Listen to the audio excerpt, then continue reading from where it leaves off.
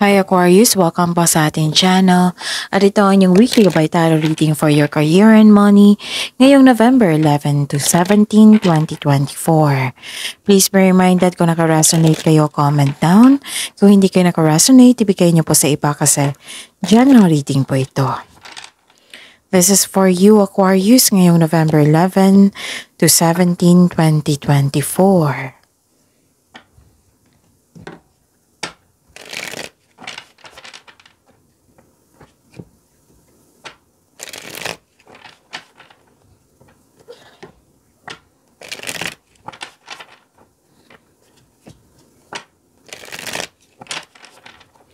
Para po ito sa inyo Aquarius ngayong November 11 to 17 to 2024 for your career and money. Maraming salamat po sa inyong patuloy na suporta at maraming salamat din po sa mga hindi nag-skip ng ads. Gamitin ang reading na ito bilang gabay lamang sa mga hindi pa nag-subscribe, subscribe na po kayo at click bell notification para malaman nyo na may bago tayong video. Para sa mga gustong magpa-reading mo, malumabas dyan sa screen nyo ngayon, panoorin nyo po at sundin ang instruction. Calling the attention sa mga suki ko dito na Aquarius, open na po inyong monthly gabay tarot reading for November 2024. May 6 months from now reading tayo at love life reading po. So message me, Aquarius, for schedule. Maraming maraming salamat po.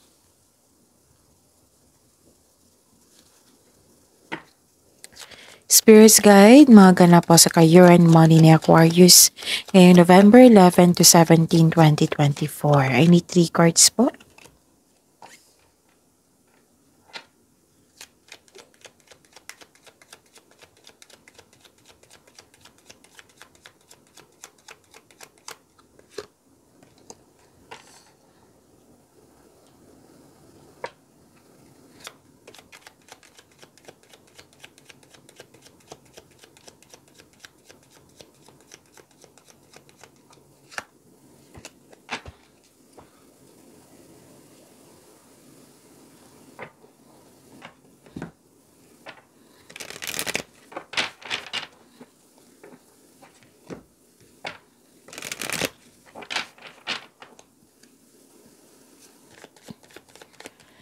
Spirit Sky,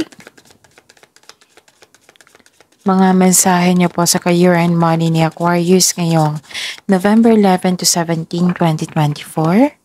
I need two cards po.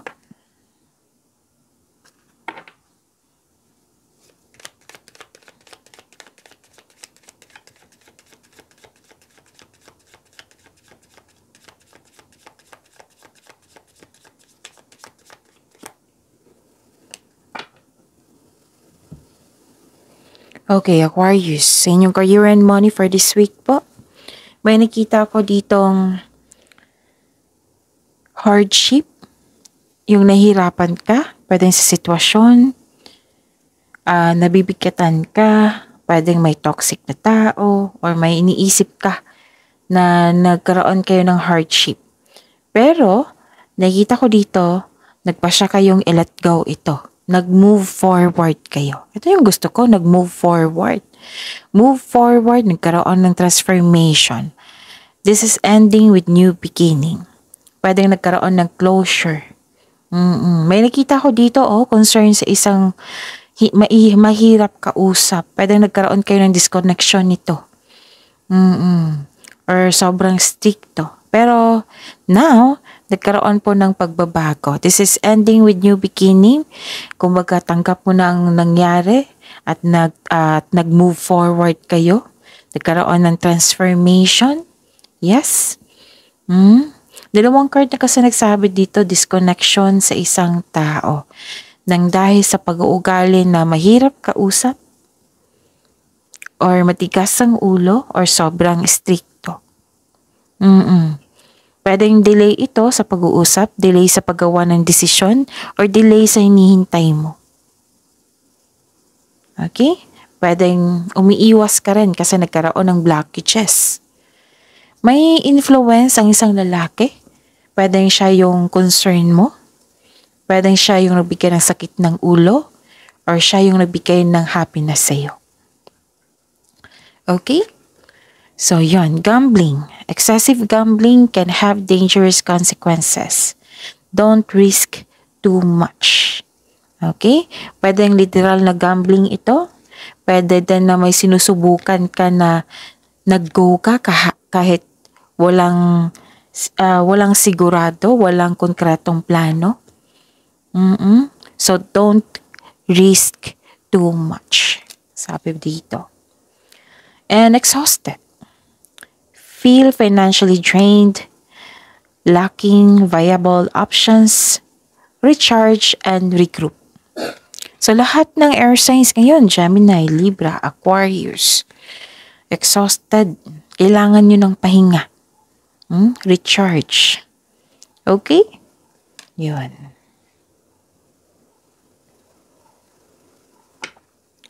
Spirits Guide, ano po yung energy ni Aquarius ngayong November 11 to 17, 2024 sa and money nila.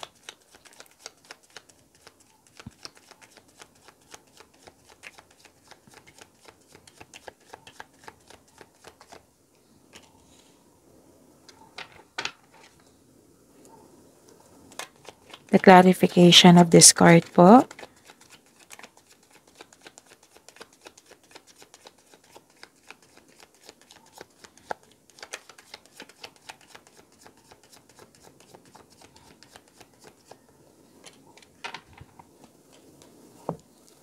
Remember Aquarius, at the end of the day, alam mo na ikaw lang ang taong may kakayahan at responsable na gumawa ng sarili mong katotohanan at kinabukasan. So ano yung energy mo, Aquarius, sa inyong career and money for this week? Inom muna ako ng tubig, saglit lang po.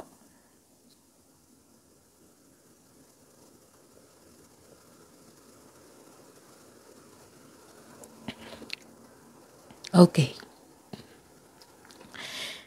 Nakikita ko dito, mm, kailangan yung alagaan yung sarili mo dito, oh. Kasi parang nagpabaya kayo or nasobra kayo sa trabaho or sa kakaisip. Kailangan nyo ng pahinga, alagaan ang sarili. So lumabas dito ang exhausted ka dito, exhausted ka rin dito. Kasi may uh, may nakita ko ditong demands. Emotional demands, pwede. Or maraming trabaho. Mm. Tapos, may nagbigay pa ng toxicity sa'yo, toxic traits na nagbibigay ng stress sa'yo. Kaya ang solusyon na binigay dito sa iyong card is, ang sabi po, is umiwas po daw kayo sa taong ito. Huwag niyong tanggapin ang negativity niya. Mm-mm. Wala naman nakikita ditong problema sa inyo eh. Sobra lang sa trabaho, sobra lang sa pag-iisip, overthinking. So, kailangan ng pagbalansa dito at pag-iiwas, umiwas kayo sa taong nagbibigay ng stress sa inyo. Kung hindi siya makausap, umiwas na lang kayo.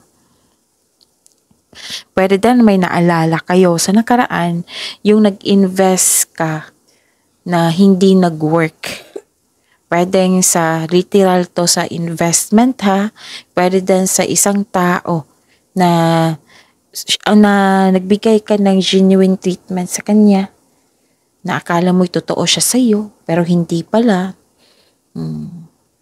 Kaya nga hindi ko kaya nga hindi kita masisisi dito na nahihirapan kang magbigay ng tiwala sa kapwa mo kasi may nangyari sa nakaraan. Pero alam niyo ba, para magiging okay to, forgive yourself. Forgive the past situation. Let go mo na. Dito tayo sa present. Okay? Tapos, yun, protect your inner peace. Alagaan niyo po yung sarili niyo. Kung nagkaroon kayo ng problema sa pagbigay ng tiwala sa isang tao, and limit yourself. Limit yourself and take chance. Hindi naman ibig sabihin lahat ng tao masama. Hmm, makakatagpo ka rin ng naang siyang tunay na may treatment sa iyo. And huwag kayong mag-focus sa ganyan. Focus kayo sa forgiveness and move forward. Okay? Focus kayo sa gawain nyo. Tulungan nyo po yung sarili nyo. Okay? Huwag nyo pahirapan yung sarili nyo kasi kakampi nyo po yung sarili nyo. Kung exhausted kayo, magpahinga. Hmm, magpahinga, meditate kung kinakailangan. Hmm, pamper yourself. Take time for yourself. Tanggapin ang mga nangyari at umiwas sa toxic traits. Okay? Yung, yung nakita ko sa inyo dito, oh, nag-move forward kayo. So, move forward kayo. Ano pa? Nakikita ko rin dito na naging judger itong taong ito, naging controlling. Mag-ingat talaga kayo sa taong walang magandang intention sa iyo. So, dalawang card na nagsabi niyan ha, mag-ingat, umiwas na lang. Hindi kailangan magalit kasi choice niya maging maging salbahe na hindi totoo sa kanyang sarili at sa kapwa niya, di ba? Hindi niya makontrol yan, lalo na't adult na ito. Nako, hindi nyo makontrol yan. Instead, the most powerful thing to do, kung concerned ka sa Kanya, ipag-pray mo siya kay God. I- I- surrender mo siya kay God at si God na bahala sa Kanya. Mention this person's name. Kung concerned ka sa Kanya, ipag-pray nyo and let it go. And move forward kayo. Focus kayo sa binigay na blessing sa inyo para pagyamanin. Huwag kayong mag-focus sa mga taong hindi naniniwala sa iyo. Huwag kayong mag-focus sa mga yun, sa mga toxic na tao. Umiwas talaga. Oo. Hindi na kailangan magalit. Hindi kailangan na magtampo kasi choice niya yan. Hindi ibig sabihin maging ready tayo na hindi lahat ng tao totoong totoo tayo sa kan uh, totoong totoo totoong totoo sila sa iyo. Meron talagang ganyan. Mm, that's reality. So, ang, ang ibig sabihin niyan, protect yourself, protect your inner peace. Hmm. Okay? Adjustment po ay kailangan nito. Tanggapin natin na ang ganyan siya. Kung concern ka sa kanya, isuko mo siya kay God. And move forward tayo into a new direction. Okay? Mag-ingat, umiwas, hindi kailangan magalit. Spirit's Guide, possible blessings po na ma-receive ni Aquarius ngayon November 11 to 17, 2024 sa and money nila.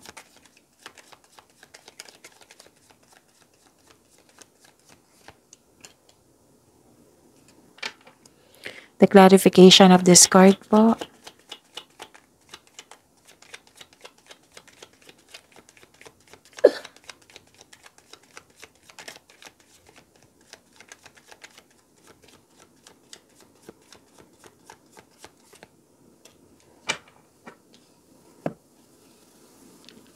Okay, ano yung mga blessings na binigay sa inyo? Aquarius. Nakikita ko dito may nalaman kang katotohanan. Hmm, nagkaroon na ng balanse, oh. Hmm, nagkaroon na ng clarity. This is cause and effect. Uh, eternal justice, andito. Pagbalanse, fairness, andito na po. Yung nagkaroon ng balanse, truth, may nakita rin akong partnership dito. May magaganap na signing of contract po. Or deal, promises, pwedeng ganun. May ganap na challenges sa work, pero huwag kayong mag-alala.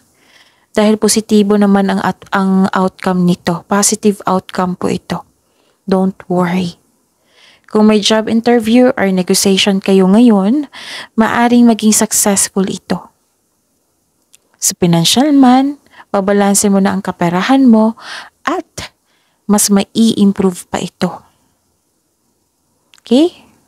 May hustisya na parating sa iyo, Aquarius. This card asks you to use your logic and remain objective. Dahil ito ay nakatulong na ma-uncover mo ang katotohanan sa isang sitwasyon may positive outcomes in legal matters. Yes, mananalo ka. Yung legal issues mo concerning a property ay mare-resolve na. Hmm. Basta stay true to yourself ha and act with integrity. Have faith na ang imbalance sa sitwasyon ngayon are now working out in your favor. Okay? May pagkakaayos na magagana. May forgiveness ako nakikita dito. Hmm. Ano pa? Nakikita ko rin dito na nagkaroon ng stagnation kasi nag-iisip kayo. Pagwawalang kilos. Hmm. Pagod kayo oh, nakikita ko. So, kailangan ng pahinga. Pero nakita ko naman dito nagpahinga kayo. Pagod ka at nagmuni-muli. Muni-muni. Malalim ang iniisip. Hmm. Nire-restrict mo yung sarili mo. Hmm. Actually, nag-iisip ka dito, binabalanse mo kung tatanggapin mo ba yung opportunity or hindi. Naging sigurista ka, naging wiser ka kasi ayaw mo na masaktan, ayaw mong magkamali. Hmm. Pwede din bored ka sa trabaho mo ngayon or dismayado ka sa current position mo. And this card tells you na kailangan mong labanan ang nararamdaman mo ngayon. Alalahanin mo yung inspiration mo sa buhay para ma-motivate mo kayo. Kailangan maging willing kang mag-move, mag-move forward from the past para bumukas yung new doors for you. Okay? Spirits Guide, challenges na ma-overcome ni Aquarius ngayong November 11 to 17, 2024 sa and money nila.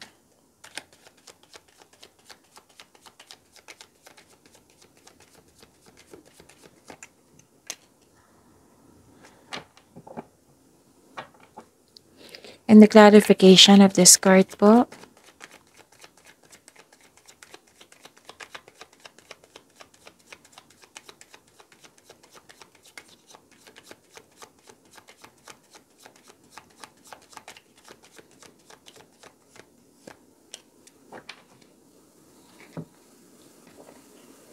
Okay.